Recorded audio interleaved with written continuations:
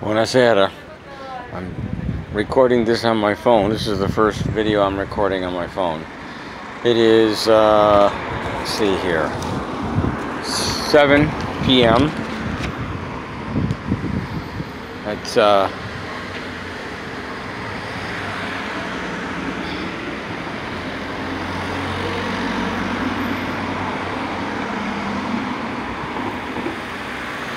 that's, uh,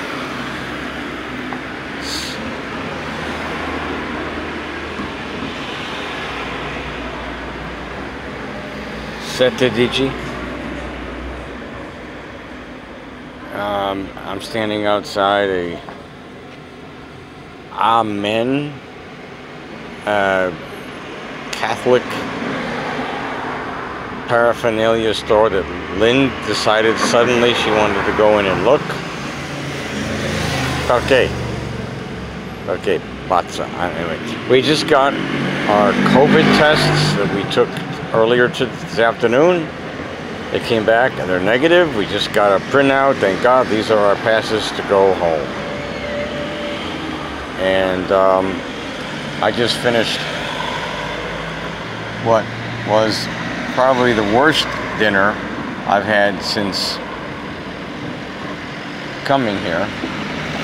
I ordered a beef burger or a Mexican. It was called Mexican, but it was a beef, supposed to be a beef burger with what they said Neapolitan broccoli and provolone cheese.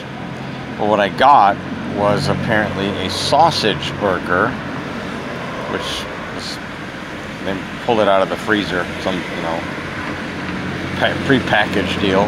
And instead of broccoli, I got uh, spinach which maybe that's what Neapolitan broccoli is. I don't know, but uh, I tasted some of the spinach. It just didn't taste right, so it was awful. However, this particular place called the Americano, yes, Americano, was the only place, only place I've seen so far in Palermo, and Catania, and Pompeii that had Guinness. And not only Guinness, but Guinness on draft. And not only Guinness on draft, but Guinness with three taps. Three taps at the bar of Guinness. I asked the guy, "Perché? Why is the uno? Uh, nobody has uh, Guinness?" He says, uh, "No, no, it's not. Nobody else. Just he does. Just he does."